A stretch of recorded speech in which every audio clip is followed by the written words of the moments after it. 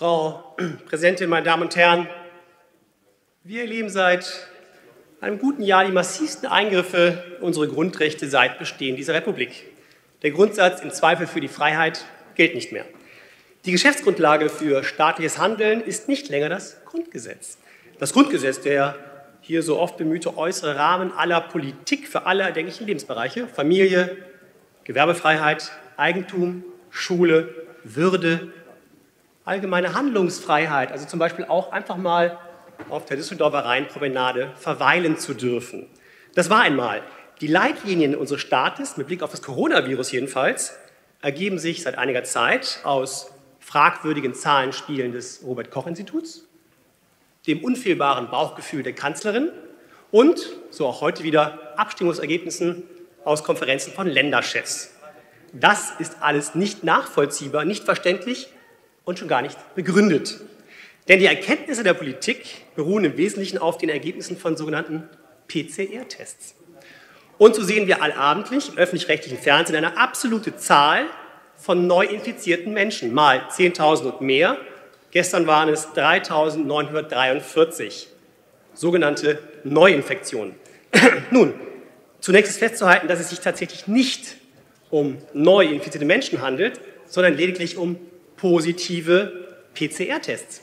Ein solcher Test erlaubt weder eine Aussage über eine Erkrankung noch über eine Infektion mit aktiven, potenziell ansteckenden Viren. Es wird lediglich gemessen, dass irgendwelche Teile von Coronaviren im Nasenrachen von Testpersonen vorhanden sind. Dennoch erzählen Sie hier etwas anderes. Das ist falsch.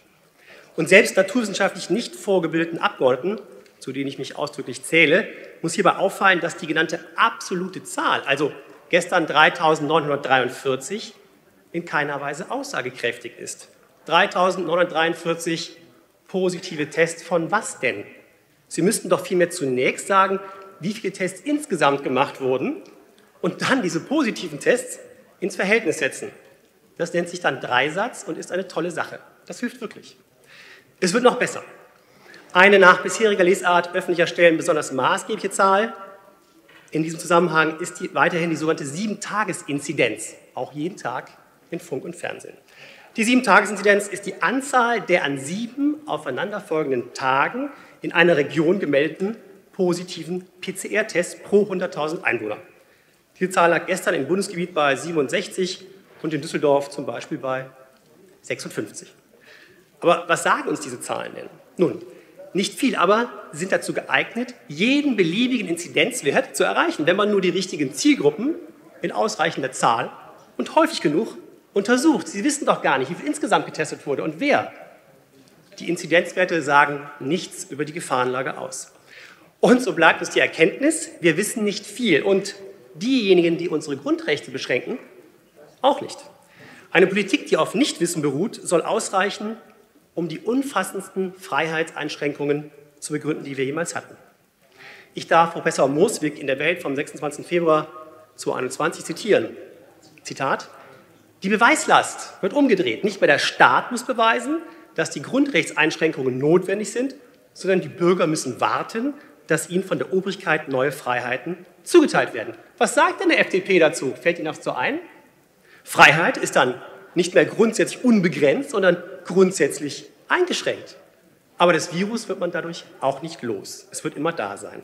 Also fragen wir uns doch einmal abschließend, um was es bei all den Geschäfts- und Schulschließungen und den ganzen Verboten ursprünglich ging. Erinnern Sie sich noch? Es ist nämlich etwas aus dem Blick geraten. Es ging darum, die Infektionskurve abzuflachen, um die Intensivstationen nicht zu überlasten. Es sollte also nicht ursächlich nur wegen fehlender Behandlungsmöglichkeiten zu schweren Krankheitsverläufen und Toten kommen. Eine solche Überlastung der Intensivstationen durch Covid-19-Patienten, sollte es sie jemals gegeben haben, ist jedenfalls derzeit nicht gegeben und auch zukünftig nicht zu erwarten. So handelte es sich bei über 5000 der knapp 13.000 gemeldeten Corona-Todesfälle in NRW um Bewohner von stationären Einrichtungen. Inzwischen hat sich die Lage dort mit einem Rückgang auf 286 Infizierte deutlich entspannt. Dies lässt sich darauf zurückführen, dass endlich diese Hauptrisikogruppen auch geimpft und geschützt werden. Eine Überlastung des Gesundheitssystems ist also nicht zu erwarten. Gab es auch nie. Wenn überhaupt nur punktuell, das war nie ein Problem. Und schließlich 20, 2020 starben 42.000 Menschen mit oder an Covid-19. Wie viele ursächlich daran gestorben sind, wissen wir nicht. An Krebs starben im Jahr zuvor über 230.000 Menschen, an Herz-Kreislauf-Erkrankungen über 330.000 Menschen. Ich komme zum Schluss. Jeder Tote ist zu betrauern, dass Sie mich nicht missverstehen. Und der Vergleich sagt auch nicht, dass Covid ungefährlich wäre. Aber das Risiko daran zu sterben ist wesentlich geringer als bei anderen Krankheiten. Und gerade junge und gesunde Menschen sind kaum gefährdet. Alte und Vorbelastete hingegen schon. Und genau diese müssen geschützt werden.